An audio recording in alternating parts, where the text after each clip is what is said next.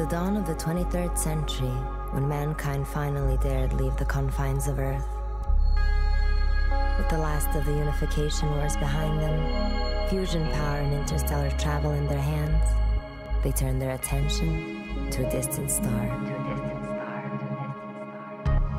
They named it Hellion.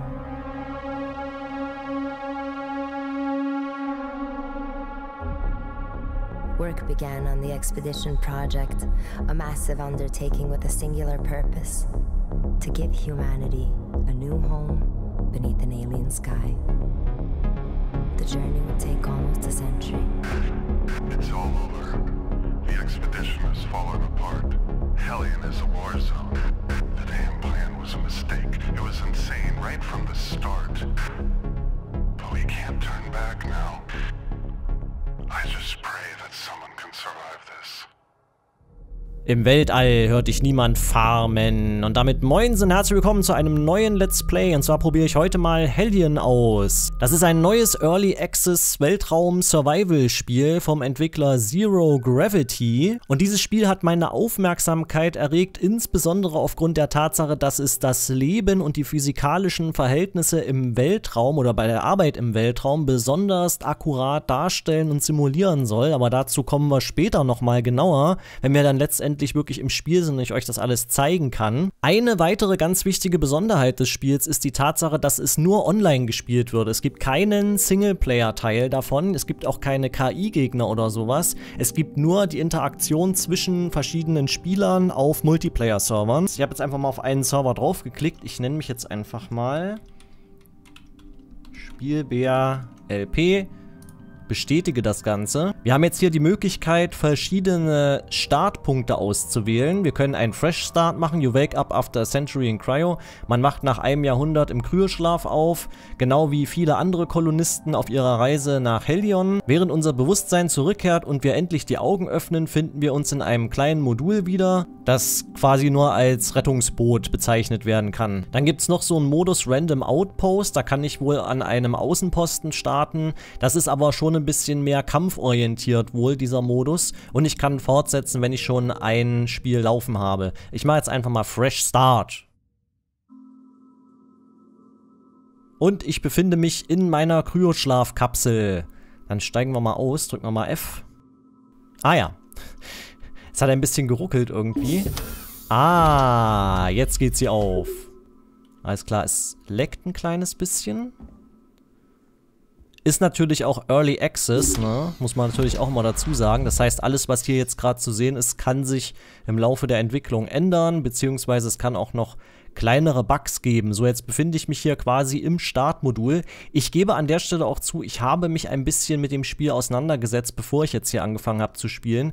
Es gab nämlich schon ein, eine Art Let's Play von den Entwicklern, da habe ich mal ein bisschen reingeguckt, damit ich jetzt hier nicht total blöd bin und euch ein bisschen was erzählen kann, weil das mit den ganzen Mechaniken hier auch ziemlich komplex ist und man da ziemlich verloren sein kann, wenn man nicht so ein bisschen wenigstens schon mal sich damit auseinandergesetzt hat. Also hier erstmal, also erstmal grundsätzlich, wir sind Teil der Mechaniker-Fraktion quasi. Es gibt verschiedene Fraktionen in dieser Welt, ja, und wir sind quasi so eine Art Mechaniker, Weltraummechaniker. Das heißt, unsere Inventare sind größer als die aller anderen und wir haben auch die Möglichkeit beim Fahren und Reparieren äh, besser klarzukommen. Ja, also wir haben da ein bisschen so eine Art Optimierung schon vom Start aus. Dann gibt es noch irgendwie eine Kämpferfraktion, die sind noch mal ein bisschen anders, die haben dann stärkere Waffen und sowas alles. Und ja, aber das ist jetzt uns erstmal egal, weil wir sind jetzt gerade die Mechaniker. Und hier sehen wir jetzt unseren Statusbildschirm von unserem Modul, in dem wir uns hier gerade befinden. Und zwar sehen wir da zum einen die Schwerkraft, also wir sehen, Schwerkraft ist aktiv, wir können ja auch rumlaufen, wir können auch springen, wir sehen auch unseren eigenen Körper, wir können auf unsere Füße gucken, ja, ist auch sehr schön.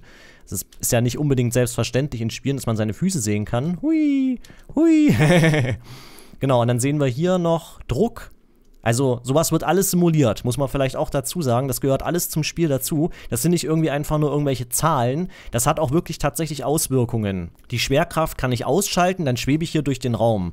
Den Druck, den kann ich verlieren, ja. Jeder, jedes Modul kann unterschiedlichen Druckverhältnisse haben.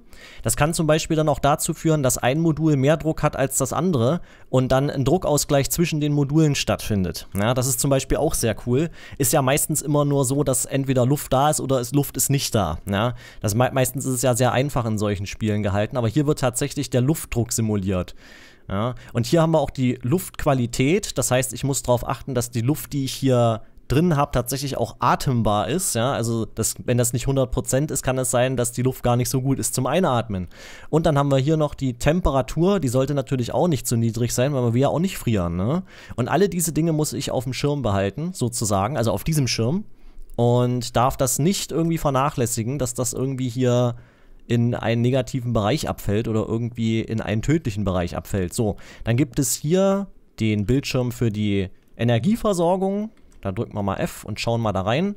Momentan sehen wir, es ist irgendwie alles offline. Ja, es funktioniert irgendwie gerade gar nichts. Und das liegt einfach zum einen daran, dass gerade kein Strom produziert wird. Warum wird kein Strom produziert? Wir haben keinen Generator, ja, no Fusion Reactor available. Das heißt, wir haben keine stationäre Energieversorgung.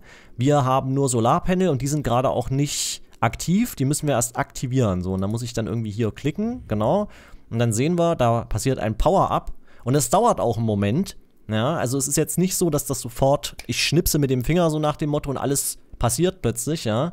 Wir sehen jetzt ist das Licht angegangen im Modul. Ich kann ja mal ganz kurz rausgehen. Jetzt ist es hell geworden. Ja, wir sehen, Lampen sind an. Das heißt, Energieversorgung ist schon mal am Start jetzt, ja. Wir haben jetzt schon mal eine Grundenergieversorgung. Genau, und die, wenn ich jetzt hier Überschüsse produziere mit meinen Solarzellen, wird hier eingelagert ja, und wenn ich jetzt zum Beispiel mich mit meinem Solarzellen oder mit meinem Modul in einen dunklen Bereich des Weltraums bewege, zum Beispiel weil ich im Schatten von einem Planeten mich befinde oder im Schatten von einem anderen Raumschiff, dann wird die Kapazität, die ich hier eingelagert habe, verbraucht, weil dann die Solarzellen den Energiebedarf nicht mehr decken können. Weil auch das wird simuliert, wo sich das Schiff gerade befindet oder das Modul und ob die Solarzellen sich im Schatten befinden. Auch der Winkel, mit dem die Solarzellen zur Sonne ausgerichtet sind, spielt eine Rolle. Dann haben wir jetzt hier an der Stelle einen Power Output von 1000 und Consumption von 2. Das heißt, wir haben erstmal einen schönen Überschuss. Das ist schon mal gar nicht schlecht. Gehen wir mal hier raus. Genau, und jetzt muss ich mal schauen. Hier gibt es eine Luftschleuse und hier drüben gibt es auch noch eine Luftschleuse. Eigentlich sind es keine Luftschleusen, ja. Eigentlich sind es tatsächlich... Huch, oh Gott, habe ich mich erschrocken. Die Türen gehen automatisch auf. Da muss man nicht irgendwie erstmal irgendwas drücken oder so. Äh, Moment, ich gehe nochmal da dran, dass sie nochmal aufgeht. Das sind tatsächlich Verbindungsgänge. Und zwar... Oh, hier ist... Ah, hier ist keine Gravitation. Um Gottes Willen. Ah, ich muss wieder... Ich muss hier wieder raus.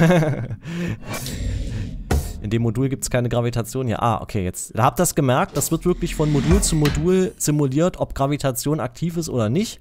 Ja, das heißt, wenn ich jetzt hier rumlaufe, ist Gravitation an. Wenn ich da in diesen Gang reingehe, ist keine Gravitation an. Es gibt halt diese zwei Verbindungsgänge, über die kann ich entweder andere Schiffe andocken oder ich kann mein Raumschiff oder mein, mein Rettungsboot quasi darüber weiter ausbauen. Und immer da, wo ihr diese roten, wo man diese roten Symbole sieht, ist quasi auf der anderen Seite entweder eine Nullatmosphäre oder Nulldruck oder ein niedriger Druck als der in dem Modul hier. Das heißt, wenn ich das öffnen würde, würde ich irgendwohin rausgesaugt. Entweder in den Weltraum oder in ein anderes Modul, das keinen Sauerstoff enthält oder das keinen atmosphärischen Druck enthält oder einen Druck enthält, der niedriger ist als der Druck meines Moduls. Ja, also immer da, wo rot ist, muss man aufpassen, wenn man aufmacht. Und ihr seht jetzt hier ja auch so ein paar Objekte rumliegen oder so. Wenn ich jetzt hier die Tür zum Weltraum aufmachen würde, würde das alles rausgesaugt werden. Ja, das würde alles durch den Druckausgleich, würde das alles tschung, rausgezogen. Genauso wie ich auch. So, apropos Druckausgleich, wir werden jetzt mal hier gleich mal was tun. Und zwar werde ich jetzt hier mal meinen, meinen Anzug anlegen. Den gibt es nämlich hier drin. Zwei Stück habe ich am Anfang. Und ich setze mir jetzt gleich mal so einen Helm auf. R to equip. Full. Ah ja, okay. Ich muss erstmal, bevor ich den Helm aufsetzen kann, muss ich erstmal den Anzug anziehen. Also ich, man muss das nacheinander machen. Man muss erst den Anzug anziehen. So. Jetzt habe ich auch ein größeres Inventar. Vorher hatte ich nämlich kein Inventar, jetzt habe ich eins. Also ohne den Anzug kann man die Sachen immer nur in die eigenen Hände nehmen. Ist auch ganz wichtig. Und dann haben wir hier ein Chatpack. Und da sehen wir auch auf dem Jetpack, wenn ich da mal ranzoome, ah, jetzt sehen wir es ein bisschen schlecht, ich zoome mal lieber wieder raus, da sind drei Balken. Ja? Ganz rechts ist die Energie, in der Mitte ist Sauerstoff und links ist Treibstoff fürs Jetpack. Ja? Und die Energie, wenn die aufgebraucht ist, habe ich zum Beispiel kein HUD mehr im Helm. Oder wenn der Sauerstoff aufgebraucht ist, dann ersticke ich. Logisch, ne? Und wenn der Treibstoff aufgebraucht ist, kann ich mich nicht mehr richtig bewegen im Weltraum. Also dann treibe ich einfach nur vor mich hin und das ist dann quasi auch der Tod. also das heißt, ich muss diese drei Werte im Auge behalten, wenn ich mich irgendwie außerhalb der Raumschiffstation, Rettungsboot, Dingens aufhalte. So, rüsten wir das mal aus. Und dann schnappe ich mir gleich noch meinen Helm. Und den setze ich jetzt auch gleich mal auf. Flupp. Und da sehen wir, im HUD haben wir die gleichen Anzeigen. Ja, rechts Jetpack, RCS Offline. Ich weiß leider gerade nicht, welche Tasten ich drücken muss, um die ganzen Sachen zu aktivieren. Das wird jetzt gleich ganz lustig. Das müssen wir gleich erstmal ausprobieren. Hier haben wir noch ein Small Med Pack. Das nehme ich mal. Habe ich das jetzt in der Hand? Mal gucken. Ne, das habe ich, glaube ich, hier irgendwo im Inventar. Hier, genau, hier habe ich das. Das Inventar ist so ringförmig, kann man mit Tab äh, benutzen. Ja, kann man sich angucken, was man hat. Und dann kann man hier in die einzelnen Unterkategorien quasi reingucken. Und das hier in der Mitte, das sind die Hände. Wenn ich hier irgendwas, zum Beispiel meinen Helm in die Mitte ziehe, nehme ich meinen Helm in meine Hände. Das ist eigentlich ganz nett so, das System. Und wenn ich es wieder zurückziehe, dann setze ich ihn wieder auf. So, hier ist eine Station. Da kann man zum Beispiel sein Jetpack aufladen. Wenn das jetzt zum Beispiel beim Slot 1 stecken würde, dann könnte ich das mit Sauerstoff und Treibstoff für meine Jetpack-Düsen aufladen wieder. Genauso auch den Strom. Den könnte ich auf diese Art und Weise auch aufladen, allerdings nicht hier. Das funktioniert irgendwie hier so. Da könnte ich meinen Strom aufladen, wenn denn die Werte leer wären, also wenn die Balken sich geleert haben. So, jetzt will ich mal gerade gucken, wo wir jetzt noch hier in der Sicherheit des Moduls sind. Muss ich mal gerade schauen, wie mache ich jetzt mein Jetpack eigentlich an? Mit R? Mit E? Mit Q? Ich weiß es gerade nicht.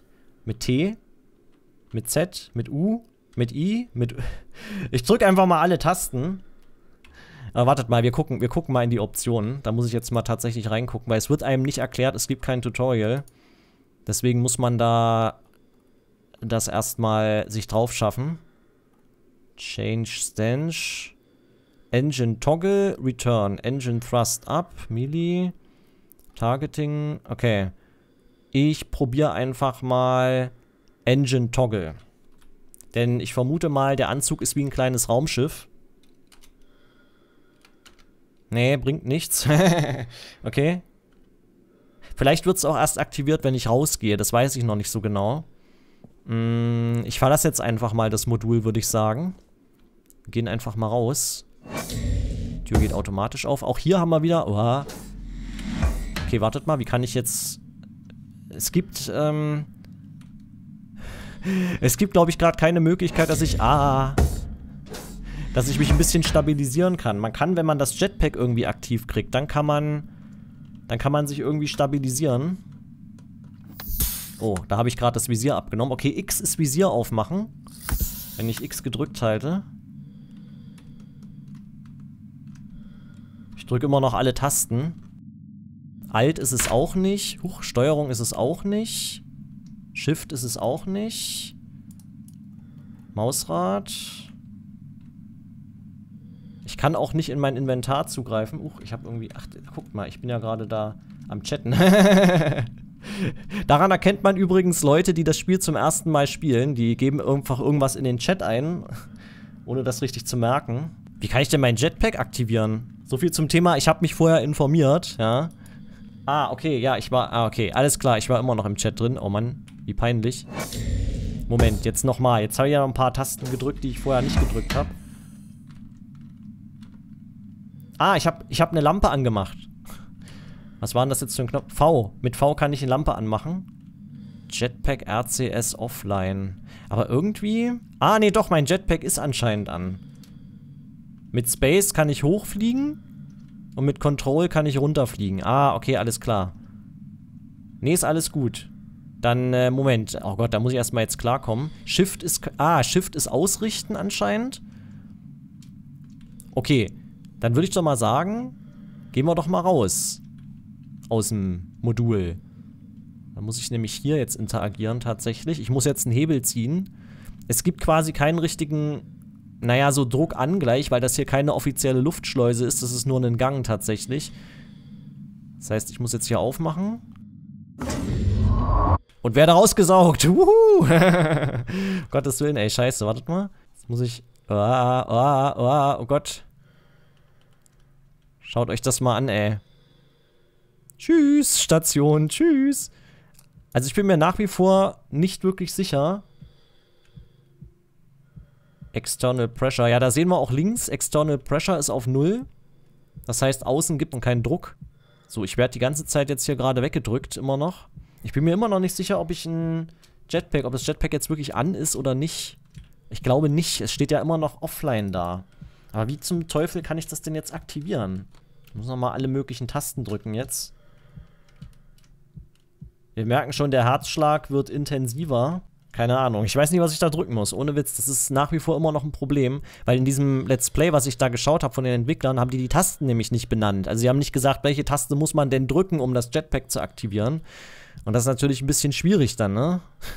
Offensichtlich treibe ich jetzt so, so ein bisschen ab hier. Ich glaube, das ist jetzt schon so weit, dass ich ohne Jetpack, wenn ich das nicht aktiviert kriege, auch da nicht wieder reinkomme, ne?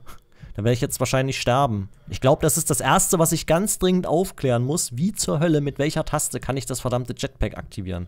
Das ist jetzt natürlich auch doof, dass man das nicht irgendwie über ein Ingame-Interface machen kann. Dass das Spiel einem quasi nicht sagt, aktiviere jetzt das Jetpack, weil du bist außerhalb deines Raumschiffs oder so. Das ist ein bisschen irritierend. Und wir sehen die Objekte da hinten, wo wir herkommen, das wird immer kleiner. Das sind jetzt schon so kleine Pixel. Das ist schon ein bisschen hart. Remove Outfit ist vielleicht jetzt nicht so gesund. Haben wir hier vielleicht irgendwie noch eine Möglichkeit? Ah, wartet mal, Jetpack. Ist das jetzt eine gute Idee, das in die Hand zu nehmen? ich weiß es nicht. Ich nehme es jetzt einfach mal in die Hand. Hold R to equip. Ich, ich klammere mich an mein Jetpack. Okay. Mm, naja gut, was machen wir denn da jetzt? Verdammte Scheiße. Ich bin verloren im Weltraum. Scheiße. Das ist ja wie in Gravity. das ist ja wie in dem Film. Wie zum Teufel mache ich meinen Jetpack an? Warum, warum wird einem das nicht erklärt? Das finde ich, muss ich sagen, nicht so toll, dass einem das nicht erklärt wird. Dass man nicht sagt, du musst die Taste drücken, sonst hast du im Weltraum keine Chance. Weil ich meine, das ist doch als Astronaut irgendwie auch nicht so. Als Astronaut wäre ja auch nicht in den Weltraum gelassen und dann so, mach mal. Das ist ja auch irgendwie doof. Da brauche ich doch schon mindestens schon mal irgendwie eine Anleitung. Wie zur Hölle aktiviere ich das Jetpack? Was muss ich tun? Drücken Sie niemals den roten Knopf, so nach dem Motto. Also ich muss doch irgendeinen Knopf haben, den ich drücken kann. Ich verstehe das nicht. Das, das ist mir so ein bisschen unverständlich gerade. Weil selbst dieser tolle Hilfebildschirm sagt es mir ja nicht. Es sagt mir nur, ohne Jetpack bin ich tot. Aber ich habe ja ein Jetpack. Ich weiß noch nicht, wie es angeht. wie geht's denn an? Hold R, Item Interaction. Ich probiere jetzt nochmal R gedrückt zu halten. Huch. Ich teile jetzt mal R gedrückt.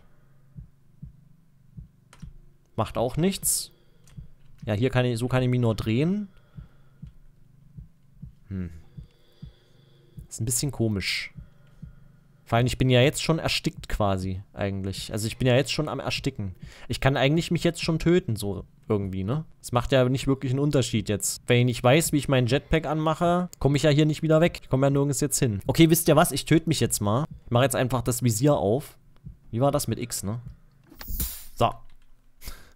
Und da wird es schon unscharf und da kommen die Äderchen ins Sichtfeld und ich bin erstmal am Eskalieren. Was ist denn jetzt, wenn ich mein... Oh. ich wollte jetzt noch probieren, was passiert, wenn ich mein Visier nochmal schließe, aber das hat er mir jetzt nicht mehr ausprobieren lassen, leider. Updating steht da, okay. Genau, ich kann nochmal hier auf den Server drauf. Machen wir das jetzt mal. Mal gucken, wo wir dann auftauchen. Ich mache nochmal Fresh Start. Und da sind wir in der Kältekapsel. Zurück in der Kältekapsel. Zurück im Kühlschrank, ja. Und da geht sie auf. Und ich kann heraustreten. Jawohl. So, wunderschön. Ist das jetzt eigentlich dieselbe Location, wo ich vorhin gespawnt bin? Das können wir ja ganz leicht feststellen, indem wir jetzt einfach mal gucken, ob hier die Tür offen ist. Nee, ist sie nicht. Die Tür ist geschlossen. Und es ist auch noch alles aus. Okay, wir machen jetzt einfach mal denselben Trick wie gerade eben. Wir machen erstmal die Solarpaneele an. und powern erstmal das ganze Modul. So, jetzt geht gleich das Licht an. Licht an. Ah ja. Dauert ein bisschen, bis die Energie ankommt. Ich finde das auch gut, dass das alles ein bisschen dauert, dass es nicht alles immer sofort passiert. Ist ja hier nicht bei Star Trek. So, jetzt lege ich da erstmal wieder meinen Anzug an. Das Jetpack. so, equip mal und den Helm. Den setzen wir mal den setzen wir mal auf, aber ich mache das Visier auf, damit ich keinen Sauerstoff verbrauche. So. Und jetzt ist die große Frage. Was kann ich eigentlich genau tun? Also, was kann ich überhaupt machen? So, das ist jetzt eigentlich die große Frage. Das große Geheimnis ist das. Was kann ich machen?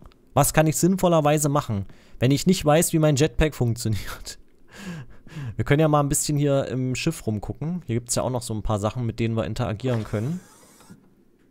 Hier gibt es so ein bisschen Technologie. Ich muss mal gerade schauen. Live-Support, genau, Lebenserhaltung. Wir sehen, das ist offline alles. Ich mache das mal an. Genau, Air Generator converts oxygen and nitrogen to breathable air und Air Filter filters and recycles used air. Ist doch gar nicht schlecht. Das klingt doch gut. Hier sind Teile rot. Man muss auch für die Instandsetzung der einzelnen Komponenten tatsächlich sorgen. Also man hat hier irgendwie Ersatzteile. Genau. Das ist so ein Koffer mit Ersatzteilen. Airfilter-Unit zum Beispiel. Da haben wir eine grüne Airfilter-Unit. Die nehme ich mal mit. Dann haben wir hier wie zum Beispiel auch so in Filmen wie Alien und Event Horizon zum Beispiel auch. Da haben wir so CO2-Filter. Die müssen wir hier einsetzen. An dieser Stelle. Und zwar müssen wir die aus dem Inventar holen. CO2-Filter, genau. Den nehmen wir jetzt in die Hand. Und dann packen wir den da rein. Habe ich noch einen? Nee, ich habe nur einen mitgenommen. Moment. Hier ist noch einer. So.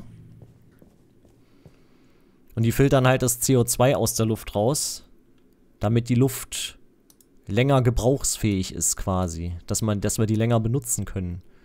Dass wir die ein paar Mal mehr ein- und ausatmen können und nicht immer wieder neue Luft machen müssen sozusagen. Packen wir das mal da rein.